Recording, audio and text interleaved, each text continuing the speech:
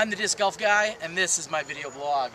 Today I am joined by the Vibram Open Distance Champion, Garrett Gurthie, Double G. How you doing tonight, buddy? Man, I'm doing good. Feels great to have another victory as a distance champion.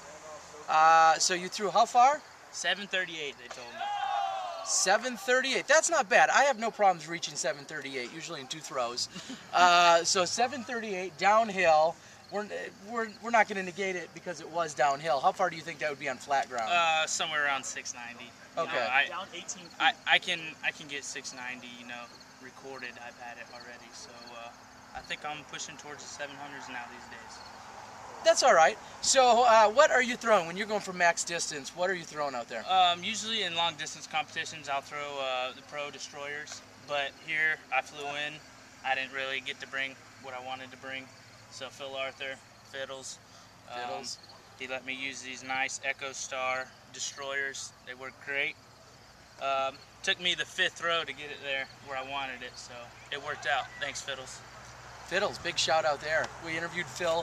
Phil had a pretty amazing uh, run. He was over at the World Championships. Not too often you see a guy win Masters and then go back into the Open division. Uh, that was pretty uh, big call on his part. I respect that a lot. Players that can actually do that and know they can keep up with the pro division, I respect them the most. You know, they come out and try to give it their valuable effort, just like we do. Absolutely. So let's talk a little bit about what's going on here this weekend.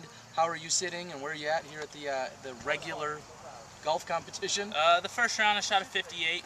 Uh, I had one trouble out there on hole 12. Took a seven. Okay, Uh, yep. Could have laid up, took my medicine, got out of there with a with a five.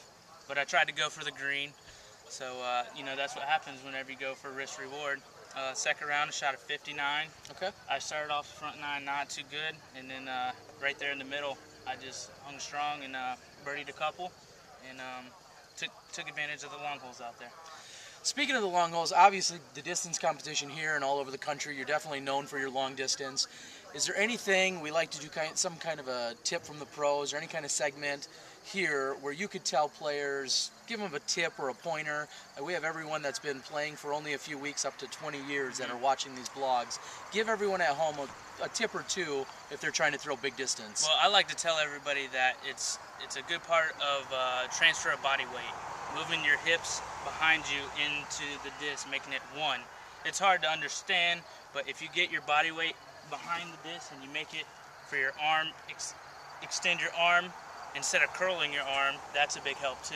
okay. You know, when you're pulling it back like this, curling your arm, you're not going to get that much more. So whenever you extend back here, you got all this distance. We always like to say in some of the best forms, whether it's in photos or in videos, when you're extending that arm as you were just doing, mm-hmm. it should almost feel like somebody is pulling the disc away. Correct. from you. That's how you're going to get full extension. You want your arm to be completely flat before you pull it, rip it across your Right. chest. You're going to get your maximum amount of distance that way. All right, and another tip that uh, will go along with that is when you're throwing a distance shot here in a competition versus throwing a golf shot, tell everybody how those are still two different things. Well, I don't take an extra hop on the tee pad, therefore you have a little more accuracy on the on the tee during the golf round.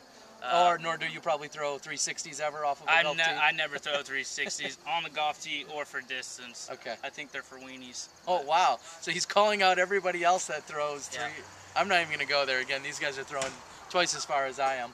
Any other tips? You play down in Florida. Why don't you give everyone at home your top two or three courses in Florida if they get out to Florida to play? Uh, give them a course or two they should First stop at. one I would go to is Cliff Stephens Park. Uh, they're in around the Tampa area.